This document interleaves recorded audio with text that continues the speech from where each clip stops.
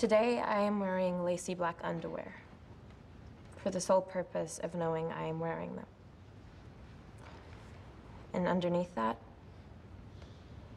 I am absolutely naked. And I've got skin. Miles and miles of skin. I've got skin to cover all my thoughts like saran wrap that you can see through to what leftovers are inside from the night before.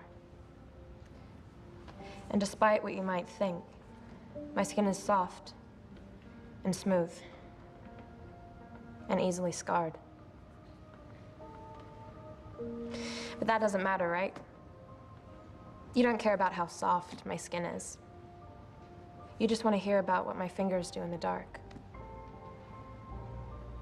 But what if all they do is crack open windows so I can see lightning through the clouds?